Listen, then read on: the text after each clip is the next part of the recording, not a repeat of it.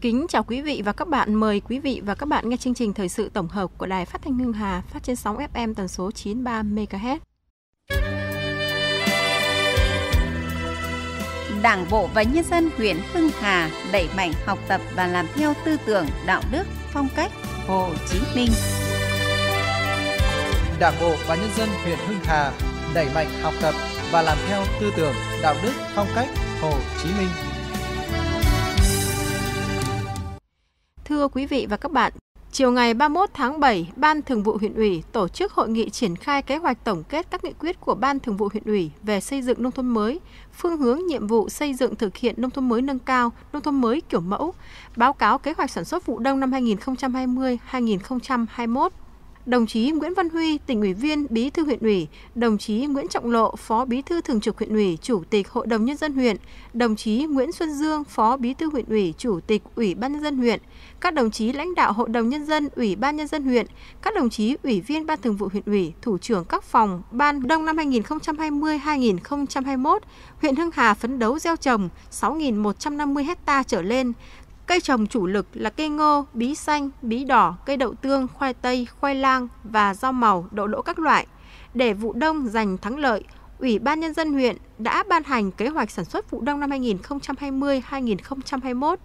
chỉ đạo các xã thị trấn nâng cao giá trị sản xuất nông nghiệp, quy hoạch vùng sản xuất, lựa chọn những cây chủ lực phù hợp với điều kiện địa phương dựng chỉnh đốn đảng, học tập và làm theo tư tưởng, đạo đức, phong cách Hồ Chí Minh, theo tiêu tiêu nhất là 5 nhiệm vụ trọng tâm và 3 đột phá phát triển đã được nghị quyết Đại hội Đảng bộ huyện lần thứ 16 đã đề ra. Kỷ niệm 90 năm ngày truyền thống ngành tuyên giáo của Đảng mùng 1 tháng 8 năm 1930, mùng 1 tháng 8 năm 2020, đội ngũ những người làm công tác tuyên giáo của huyện càng thêm vinh dự, tự hào, tiếp tục phấn đấu, tu dưỡng, rèn luyện về mọi mặt, đóng góp xứng đáng vào trang sử vẻ vang của quê hương, thực hiện thắng lợi nghị quyết Đại hội Đảng các cấp nhiệm kỳ 2020-2025,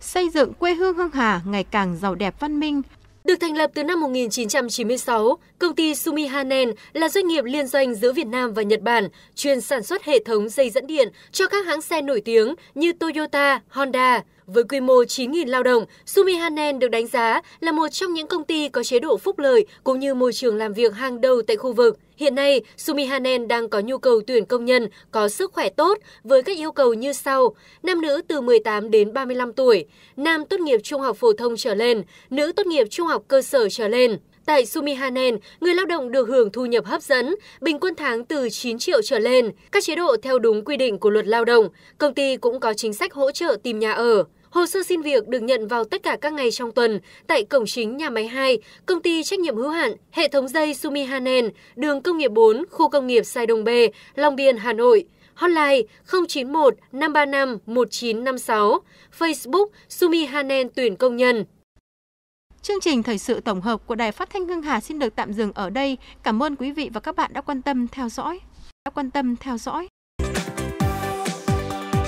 Radio AD, thông điệp từ âm thanh. Hotline 0989 612 668. Truy cập website www.radiovietnam.com